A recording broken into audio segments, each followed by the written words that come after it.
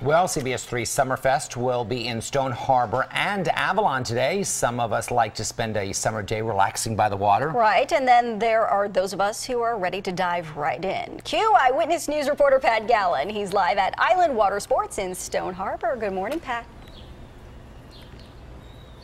Good morning, Jim and Jan. Yeah, what do you do when you come to the Jersey Shore, specifically Avalon or Stone Harbor? Well, you come to Island Water Sports and you get to play on their amazing aqua park, or you can go a little bit deeper like I did, and you can try your hand at water skiing or flyboarding. This is what happened. Need something fun for the summer? Island Water Sports in Stone Harbor has been keeping kids and parents happy for 29 years. What are you doing? Paddleboarding. Was it fun? Yeah. It's a good workout, right? Yeah. What's the best part of being out there? Uh, the water. Just the water itself? Um, doing the thing, the Yeah. floaty thing. Have you been out here? Uh, no, Why not? it would take me a week to recover from that thing, trust me. In addition to the aqua park and paddleboarding, two of the more extreme activities are water skiing and the flyboard. We began on the skis. First time, never done it.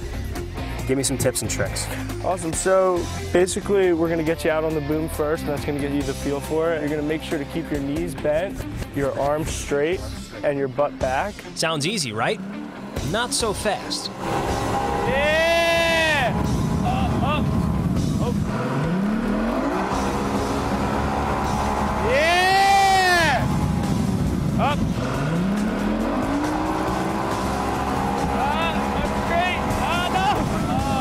After several tumbles, doing awesome.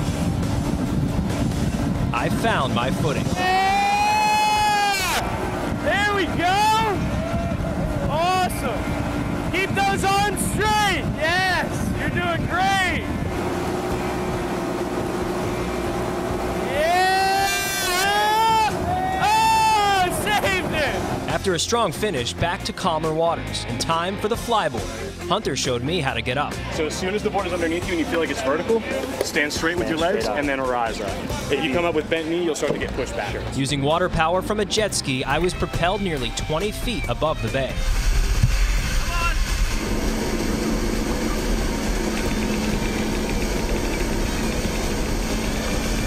Pretty or not, it was a blast.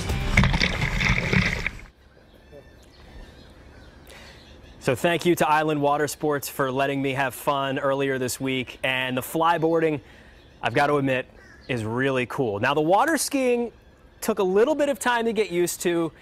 I finally did get up, but there are some war wounds, if you will. I mean, take a look. This is what happens, Jim and Jan, when you uh, when you're not great at water skiing.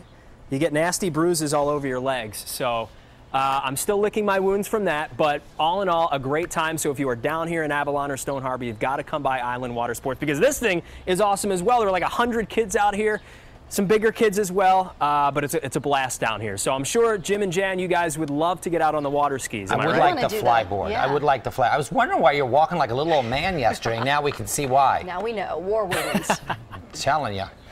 Thank Good stuff. Pat. Thanks, Pat. Yeah, We'll stay with sure. Eyewitness News as we continue to spotlight the fun at the shore. Summerfest continues at 5 o'clock today with Jessica Dean, Tori Woodill, and Lauren Casey. You can see what makes Avalon and Stone Harbor such fun places to visit.